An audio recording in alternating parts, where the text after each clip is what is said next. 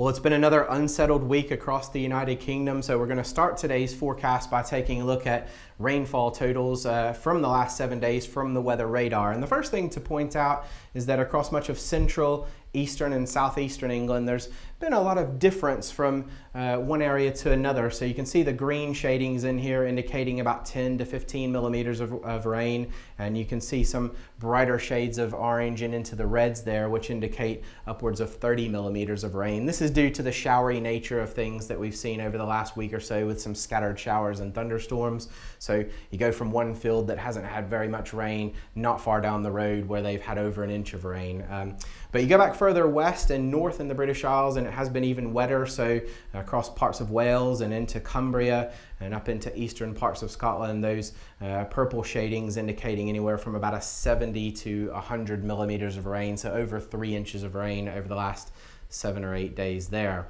Now thinking back to the month of April, where we had the very dry conditions, we've covered that in previous farming forecasts, but um, you, you, can see that parts of eastern England and down into southeast England, some of that red shading as little as 5% of the average rainfall for the month of April. Uh, and even where we did have a little bit more rain in places, still well below average rainfall. If, if, anything, most places only had about half or less of what you would expect for April. Contrast that with May so far, and you can see not any brown shading to be found at all on the map here. And in fact, we've gone the other way with it. So uh, these purple shadings across northern England here indicating more than three times uh, what we would normally expect to see for the month of May. Uh, you get down into central and southeastern England and into East Anglia, and it's sort of a mixture between about one and a half times the amount of rain uh, upwards to about two and a half times of, uh, of the amount of rain we would expect for May. So we've more than made up for that deficit of April. Um, uh, and as we go forward, I think luckily looking at something that's a little bit more average. So we're going to take a look at the jet stream over the next few days and I just wanted to point out as we start this that the jet stream's still near us or just to the south of us allowing that colder air in place to continue to bring some showery weather around for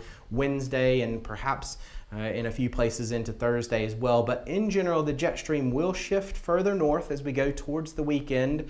Uh, and by the end of the period here, uh, the active part of the jet stream well up toward Iceland and further northwest to Scotland. So any weather systems that develop that are generated by this jet stream going to generally be steered to the north and west of the British Isles. That'll leave us with the potential for some higher pressure to build and some more settled conditions. And that is the main theme uh, of the longer range forecast that we'll get to in just a minute.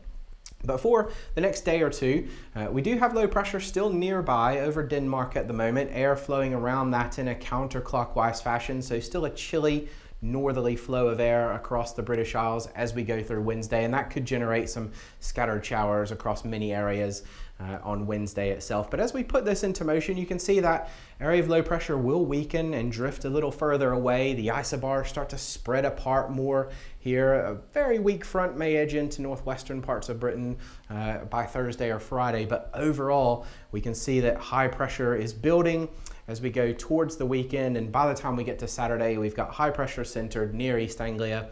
Uh, much of the British Isles influenced by this high pressure, no rain around for the most part. There may just be a few isolated showers that develop, but overall a much more settled picture by the weekend. And with that high pressure and those light winds around, by the time we get to Bank Holiday Monday, Computer models are forecasting temperatures into the low 20s, so finally going to have some warmer weather to deal with with these lighter winds and some better amounts of sunshine. And usually at this range, if a computer model is showing 21 or 22 degrees, if you have a little bit of sunshine and some light winds, you can add a degree or two onto that as well. So it wouldn't surprise me if a few spots, particularly down into the London area, for example, made it up as high as 24 or 25 degrees uh, by Bank Holiday Monday. So some pretty pleasant conditions for central, southern, and southeastern parts of Britain. Still a little bit more changeable and cooler across northwest Scotland with those low pressures just tracking off to the northwest.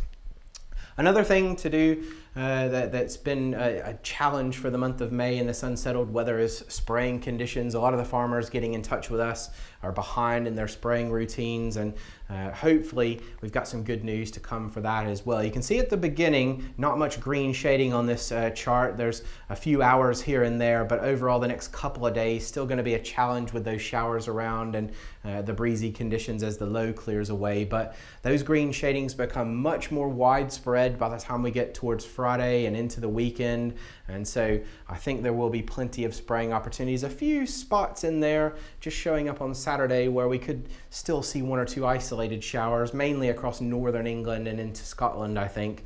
Uh, a few isolated afternoon showers, but overall, mornings, late afternoons, and evenings look like uh, the best times for spraying um, uh, once we get to Friday and into the weekend. So, overall, some better conditions and some opportunities to catch up if you are behind uh, in the spraying routine.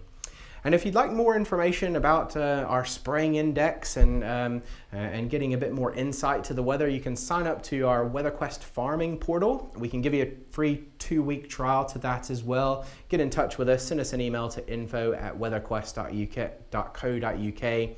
We'll set you up with a username and password. You can log into our website. You get things like uh, the jet stream position, the probability forecast going forward for the next 10 days and also our written monthly forecast to go along with the standard weather forecast variables for the next few days. So we've talked about this high pressure that's coming and building and what I wanted to point out here was our uh, chances of a dry day uh, over the next 28 days. So we've got our days across the top going out to the 20th of June. We've got northern parts of U the UK and northwestern parts of the UK at the top of this uh, table. And then as you go uh, down the table, we move towards the southwest. So sort of northwest Britain, more central areas in here, uh, and then over into the south and east at the bottom of the map. And what you'll notice is that for south and eastern parts of Britain in general, there is a trend towards drier conditions as we move towards uh, June uh, and particularly towards the middle part of the month. So high pressure dominating the forecast, it looks like, um, but uh, some wetter conditions still in the northwest. But I did just want to highlight that Dan last week showed a similar uh, image and this is what it looked like at that point. And so there was a signal, a bit stronger signal for high pressure through the period than we're seeing now. And so, what that will mean is that uh, I think on a few of these days in particular, there could be some weak fronts or a few scattered showers that develop in here to uh, erase some of those absolutely dry days uh, in the forecast. So, while we're looking at dry conditions, perhaps not completely dry conditions and i think that's the story that we want to stress is that we're not going into a period of two or three weeks of completely dry weather but we will be generally drier than average and we will see high pressure more dominant in the pattern. And that's what the charts show for week two. So this is the first week of June. High pressure starting to build in from the southwest, but uh, a bit of a west-northwesterly flow. Uh, so you've got your air coming around the low pressure here in a counterclockwise fashion and around the high pressure in a clockwise fashion. So northwesterly drift to the air here. So still a little bit of a cool air source over the North Atlantic but some drier conditions as well towards southern areas. So you can see across southwest Britain and southern Ireland, it is going to be drier than average through that period. But you go further northwest with those storm tracks still heading into the North Atlantic, uh, some wet conditions possible in northwest Scotland, but for central areas, probably near average rainfall really through that first week of June, with a few showers still possible. But with that northwesterly stream of air coming in, it will still be on the cooler side. So we could have some warmer days. I think in general, the daytime will feel a little bit warmer, but overnight temperatures still on the chilly side. And uh, as I mentioned, there's still one or two days in there that could reach up into the 20s, but I think it'll probably be towards the second week of June where we start to see things warm up as that high pressure generally moves a bit more over the top of the British Isles, and that'll lessen the winds and it'll also uh, keep that sort of uh, west or northwesterly air uh, further north of us. And in fact, uh, in this situation, winds will be fairly light. So, again, looking pretty good for spraying conditions during week three as well. So, not just over next week, over the next week, but I suspect as we go into the second week of June, we're looking at uh, some good spray conditions too.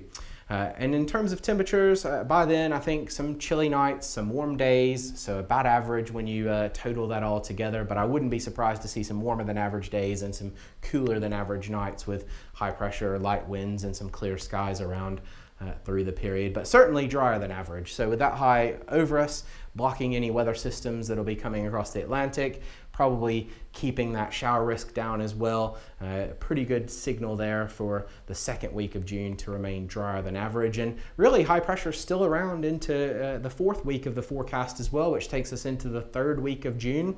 So we'll continue to likely see uh, rainfall figures below average. So uh, I think for most of the British Isles here, uh, not uh, seeing any uh, terribly wet and unsettled conditions uh, through that third week of June.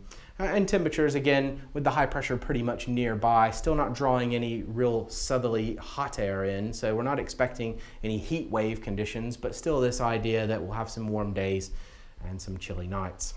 So to summarize that all, a little bit chilly at first with that low pressure near Denmark slowly clearing away. So the next day or two still uh, feeling chilly and a little bit unsettled, but overall high pressure becoming more dominant than of than than really through much of the month of May. So this is be the uh, longest spell of high pressure we've seen in quite a while. So that'll dry things out through much of the period. In fact, every week really uh, looking drier than average in the forecast period through the middle part of June. And those temperatures probably around average as well. Some warmer days, some chillier nights with that high pressure uh, as we talked about. So that's it for this week's uh, video. If you'd like to get in touch with us, feel free to uh, connect with us on our social media sites, uh, Facebook and Twitter, uh, or send us an email at info at weatherquest.co.uk. Thanks for watching.